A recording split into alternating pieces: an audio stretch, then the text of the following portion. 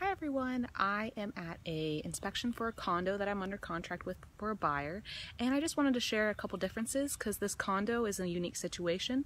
Um, one, because it's a condo, so when you buy condos it is different than buying homes because there's a condo association and the condo association is in charge of exterior, but then also this property happens to be owned by Fannie Mae, so it was a foreclosure. So there's also different nuances that come along with that. So I just wanted to share just a couple things. That way, if you're looking to buy a condo or if you think foreclosures may be an option for you, um, you kind of know what to look out for.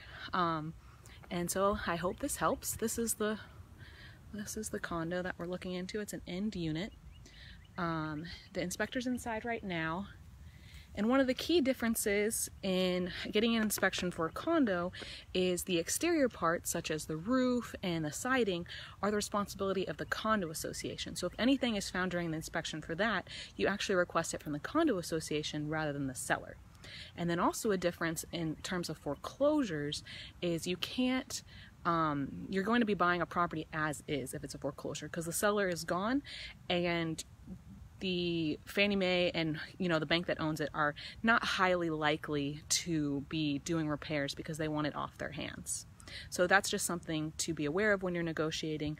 Uh, repairs are not likely to be something that you can negotiate when you're doing a foreclosure.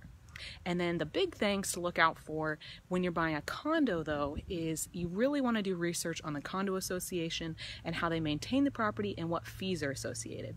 So when you go under contract or even before you go under contract for a condo, you want to look at the financials and you want to look at the bylaws and any other governing documents. And this is going to tell you what the fees are, um, what they're in charge of, who's in charge of maintaining the property, and this really helps you um, get an idea of, okay, okay, you're buying this condo and someone else is going to take care of it, but how well are they going to do? Are they going to upkeep it properly? Because you're going to be paying a monthly fee and you want to make sure that it's going to be used properly and it's not being used um, basically not being mismanaged. And I'm sure you guys, if if you've driven by condo uh, complexes before, you can tell the difference between a property that's well maintained and one that's not. And that's also often a product of the condo association. So a key thing to see in the capital in the financials is to make sure they're capital reserves. So that's the money that they're going to use to do roofs and other exterior projects.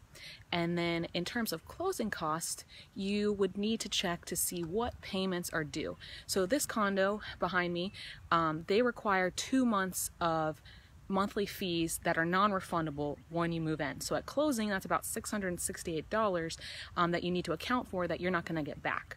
So that's just something to ask and to be aware of. And it's always good to have your agent go ahead and talk to the condo association as soon as possible. And then another thing that's unique for a condo is an estoppel. So an estoppel is a fancy word of basically checking to make sure that the seller was in good standing when they left. Um, so it basically it's pooled through the condo association and it does have a fee.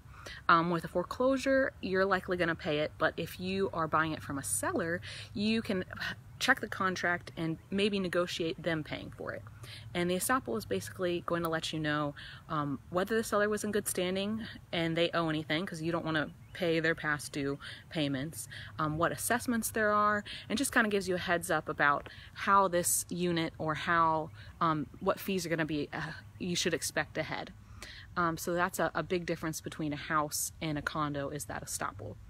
Um, and I think that's just the highlights that I wanted to go over. Obviously, there's a lot more that you should look into, but um, those are some of the highlights and definitely talk to your agent because they'll know a lot more of the differences between condos and houses and then also foreclosures and houses. And, and one more thing, foreclosures do have a lot more fees because the bank or the uh, or Fannie Mae is not going to cover as much of the closing costs. So that's just something to be aware of and talk to the title company ahead of time to try and get an estimate as soon as possible. So that way you can be prepared.